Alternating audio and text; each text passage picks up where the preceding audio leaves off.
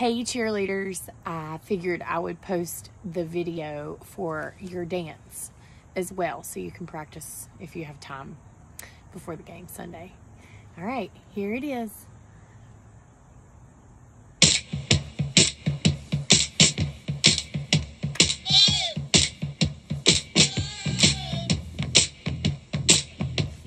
Now remember, if you're dancing, you can jump